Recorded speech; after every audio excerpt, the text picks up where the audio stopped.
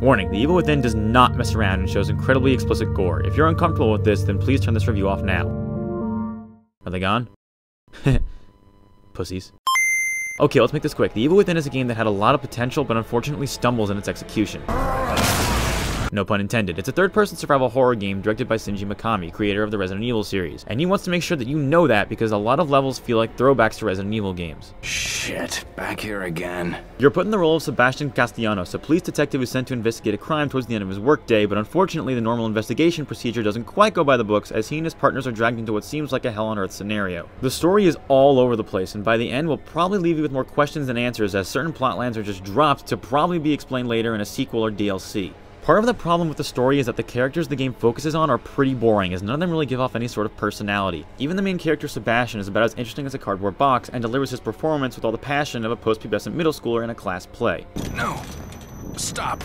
Oh my god. Oh shit. The game tries its best to have a distinct style. It gives off a grainy film effect in order to try and have a more cinematic feel, but in the end ends up being more annoying than cool because it gets in the way of the action. Luckily though, you're able to turn it off if you choose. However, what you can't turn off is the letterbox format as the game demands you play through it with about a third of your screen missing. Again, they try and do this in order to make the game feel more like a movie, but it can get in the way of gameplay. During the action segments, you'll forget that it's there, but during the sneaking segments, it will frustrate the hell out of you. Not being able to see when an enemy's coming around a corner because of these black bars you can't get rid of will be enough to drive you up a goddamn wall. Speaking of which, it needs to be mentioned that this game is hard and makes no bones about it. You're gonna die. A lot. It even says so in the manual. And yes, there's a manual and that's awesome. While there's nothing wrong with making a game hard, the problem The Evil Within has is that it feels hard for all the wrong reasons. In a game like Super Meat Boy, when you die, you have nobody to blame but yourself because the controls are so fluid, but with The Evil Within, the controls are so clunky that just about every time you die, it almost feels as though it was completely out of your hands. Shit. Ammo is scarce, so you're going to want to make sure that you conserve and sneak around as much as possible. However, as you go through the story, the game refuses to follow its own rules. There are segments where you think you can sneak around and take out enemies the same way they let you earlier in the game, but actually doesn't let you do that and forces you to use up precious ammunition that you were saving for bigger fights. The game just expects you to know what it wants you to do and where, even though they never make it clear, which can lead to some really unnecessary deaths. While I'm sure most of these decisions were made in order to make the game seem scarier, it's not really so much frightening as it is frustrating.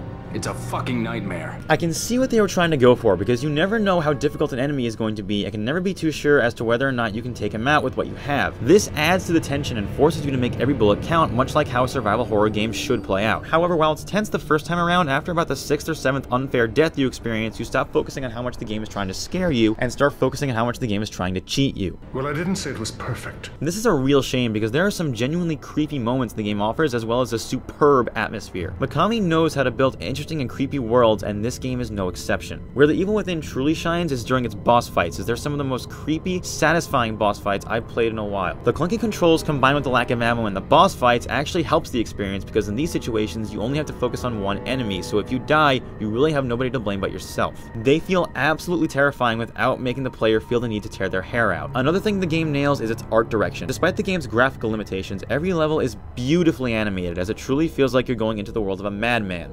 This place is filthy. What's bizarre is that even though the game isn't graphically impressive, there are still problems with texture pop-ups as the game seems to have a hard time running, even on the PS4. During my playthrough, it was plagued with glitches. I had to reinstall the game once, the game crashed on me twice, and a glitchy environment object blocked my path, preventing me from progressing any further in the level and making me reload the chapter. I really wanted to like The Evil Within, but strange design choices coupled with subpar graphics, massive glitches, a poor story, and frustrating gameplay that feels out of your hands really hold it back. Somewhere deep in here is a great survival horror game, but unless you're a big fan of the genre and already played Alien Isolation, I can't in good conscience recommend it. Overall, I give The Evil Within 34 quesadillas out of 99 SD cards. Shit.